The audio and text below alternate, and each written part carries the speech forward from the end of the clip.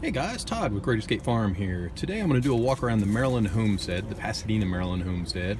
And I've done this several times in the past, but instead of focusing on all the different plants, I'm going to focus just on the ones that have blooms or are fruiting right now or have fruit on them. So you can see these right here. These are blueberry blossoms. And oh, by the way, the, the reason I'm doing this is a lot of people they eat blueberries, they eat uh, a number of different fruits, and they're just wondering what the blossoms look like. Other things, I have some unique edible plants here, and other folks just uh, may want to have an have an interest in looking at getting these plants in the future. So this is kind of what they look like at different stages, and this is the flowering out stage. So this is what blueberries look like. You can see there's just loads and loads and loads of flowers on here. So this this one right here has probably uh, eight or nine different blooms on it, maybe more. So, uh, and that's just one cluster. There's many other clusters back behind. As we come along here, this one is just covered with blooms. This is a sweet scarlet goumi.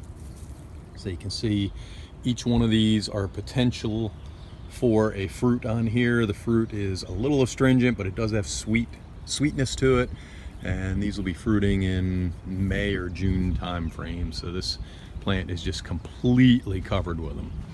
This plant here is a gooseberry.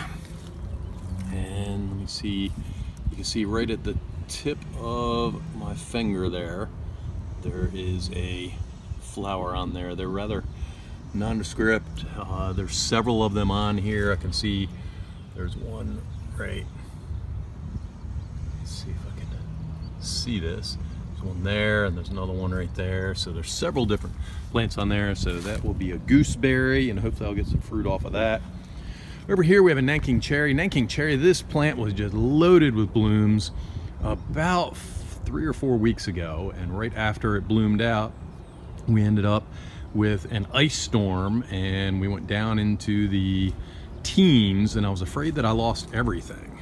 But right at the tip of that finger right there, you can see there's a fruit and there's another one right there. So I did get a couple of fruit on here. Uh, I don't know if it's gonna be much more than a, a dozen or so, but hey, uh, these are unique edibles and I like every bit that I can get. I see a couple more right here on this plant. So there's one right there and another one right there at the tip of the finger. So those are Nanking cherries. Actually, as I look, I see quite a few in here. You can see they already have a little bit of a reddish tint to them. Although they are not full grown, they'll get much bigger that. Actually, I look on here, I see dozens on here. So I'm gonna get a lot of fruit out of that Nanking cherry bush. Over here, I have a multi multi-variety pear tree. So I think it has five different types of pears on it. And let's see, I did the walk over here earlier and I saw some fruit. There they are. So you can see the pears are right here. And uh, pears are interesting in that they actually grow with the stem and they face upwards when they're growing. So, and I have another bunch back here. That's one variety. And back here, I have another variety that is just now flowering out. There's several of them. Yeah, they're all off of one branch. So they need to cross pollinate. I don't know if anything else Actually, there is. There's one right up there. So I don't know if that one is going to be enough, but hopefully I'll get some fruit out of that. A couple of different varieties there. Okay, let me step back over here. So right in front of me is a peach tree and right behind that is a nectarine tree. And those had loads of had a lot of ice on them. So I don't know if I'm gonna get any fruit here. I haven't looked that close yet. They're still a bit small. And same with the plum tree that's right there. I don't know if I'm gonna get any fruit out of that. Over here, I have a cornelian cherry and it is blooming right now and very difficult to see these flowers from far away. Uh, some would say they're not even flowers. Let me try to get out of the shadow here there see there's, uh, you almost can't even tell that that's a flower at the end of my fingertip here, but there's several of them on this bush like that. And over here, this is a Kousa dogwood, which is just starting to bud out here, but no flowers. It will have dogwood-like flowers, white dogwood-like flowers in the May, June timeframe. We are in early April. Okay, back here, this is something called honeyberry, and I don't see any on that one. I do on this one right here, so you can see on the honeyberry. I have like yellow flowers right at the tip of my thumb there. So that will be honeyberry. I have four of these bushes here. They need to cross-pollinate with one another, and I have a couple of them blooming at the same time right now. And then here's another Nanking cherry bush. Don't see any any cherries on this one. It did bloom out a little bit later than the other ones. Actually, there's still, just so you can get an idea what a Nanking cherry bloom looks like, there's still a couple left right here. So it's blooming out. This is a high bush blueberry, and I have quite a few blooms on it, or about to bloom. They're not even blooming yet. They will be later. So that's the nice thing about the blueberries. I have them timed at different times. The one that we saw earlier will bloom early. This one will bloom a little bit later, and I have some others in the backyard that will bloom even later yet. So that's it for this area. Let me run on in the pool area and check it out. Okay, continuing on with our journey, this is a pink lemonade blueberry.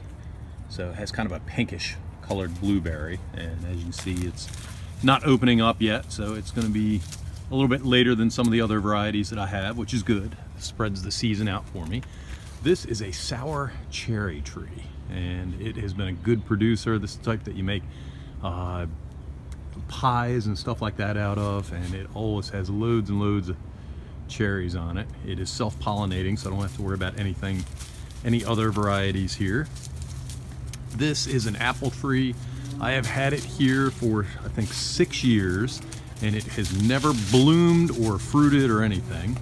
And for the first time, see if I can get it in here right up there, I have a couple of blooms just coming on it. So hopefully it will cross-pollinate with several of the other uh, apples that I have here. This, although it's not flowering, they, actually they don't flower, but this is a fig and this is at the very, very top. And I'm very excited because I've never had the fig come all the way up before.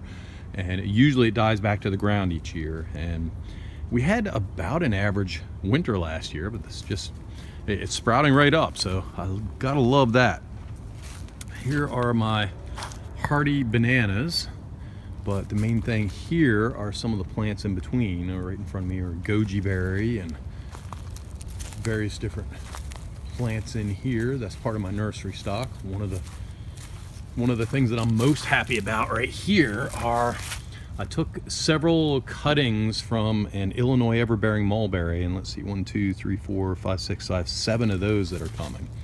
So if those make it through this summer, I'll keep them watered and everything. Then I'll sell uh, Uh, these next year, so in the spring of 2018. So very happy about that. This is another apple tree that I have. This is a yellow apple tree and it has been producing for several years for me and quite a few flowers on it. This is a Korean bush cherry and it had several flowers. You see the remnants of them right at the tip of my thumb there. See the remnants of the bud.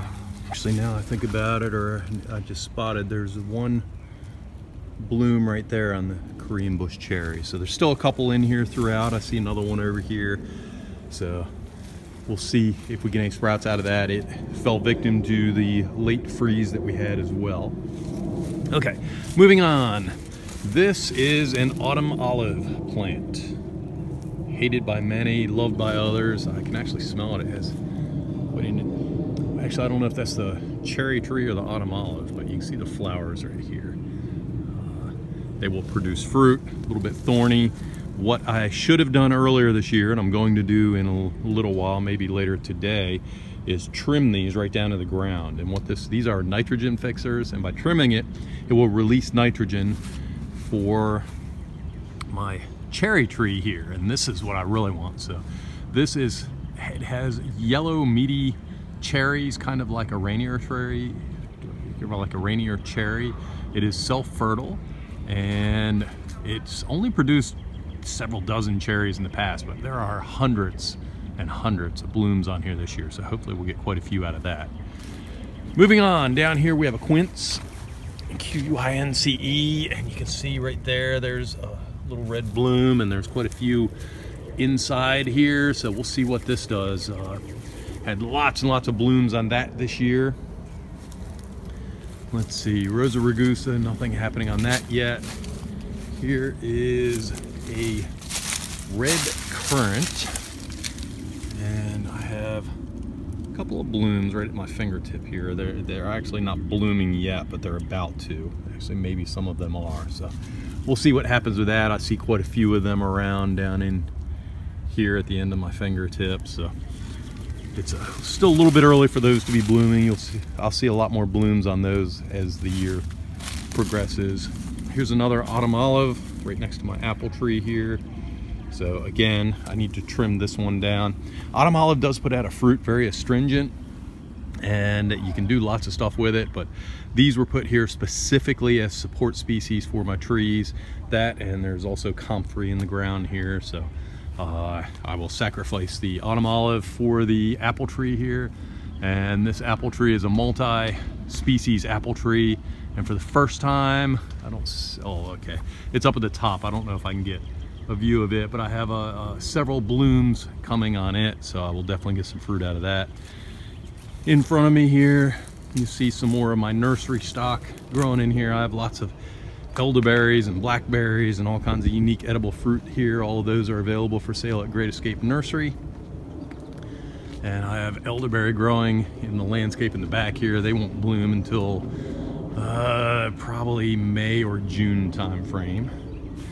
And right here, this is a heritage raspberry. And right at the tip of my thumb, you can see blooms just starting right there. So the Heritage Raspberry, I, the reason I like this one is it is an everbearing and it's really not everbearing. It has two crops of fruit. So the first crop will be in May or June and that's what these will fruit with and that's on existing wood. And then the new wood, the sprouts, the lateral shoots coming off here, which are the floricane. The floricane will bloom later in the year and I'll end up with fruit from about the August time frame up until the last frost. So we'll end up with some good fruit there. Let me spin around here real quick. Here's some more of my nursery stock here. Actually, let me show you these. This is interesting. So this is just a little baby sweet scarlet gumi and you can see it's flowering all over the place right here and I have several of them that are doing that so they are growing out very, very well here. I will, uh, if they do end up producing any fruit, I'll actually pull the fruit off. I want them working on leaf and root growth. I don't want them to worry about fruit growth just yet, but nursery stock is doing great. I still have a couple of uh, plants in the propagation bed there, and that's simply because I ran out of pots. I need to order some more one gallon size pots or six inch pots to finish up with the rest of the elderberry there. But we're almost empty and we'll be starting with new stock soon here. Okay. Oh, as I'm wandering around, I see the horseradish starting to stick up there. So, getting a horseradish harvest this year. And this is our last plant of the tour. This is a Viking aronia plant. And you can see on each of these tips, there are just aronia buds all over the place. So I'm gonna end up with lots of aronia this year, which is really quite amazing because I take two or three cuttings a year off of these things for propagating. And this thing still manages to come out and give me lots and lots of fruit every year. So that's it for our fruit walk around Great Escape Nursery and Great Escape Farms, the Pasadena, Maryland location. Please consider subscribing to our YouTube channel, and I hope you have a wonderful day.